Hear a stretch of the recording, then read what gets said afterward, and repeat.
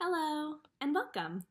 I'm Luba, and today I'd like to talk to you about a special day in the year called Earth Day. And since today is Earth Day, I'd like to talk about how we can keep our Earth, our world, clean and healthy. But what is Earth? Earth is where all people live.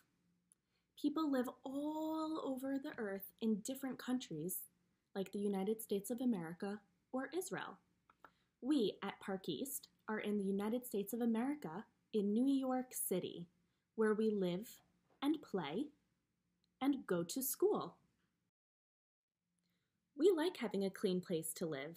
Would you like it if your apartment was completely covered in garbage so that there was no room for you to eat or sleep or play? No, you would clean it up and throw the garbage out. But what happens to the garbage next?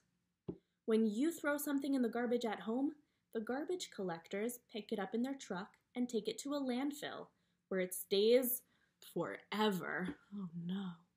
Does that look like a good place to play in all the dirty garbage? No. So, one way we can keep the world from getting too dirty is to recycle. Recycling is when you take something you were going to throw away in the garbage and instead make it into something new. When you recycle, you're helping less garbage go to the landfill. The less garbage at the landfill, the cleaner the earth, the world is. Which looks like a better place to play. Hopefully, this one. How can you help the earth look like this? Well, one way is to recycle. So the next time you're about to throw something in the garbage, stop and look at it. Hmm.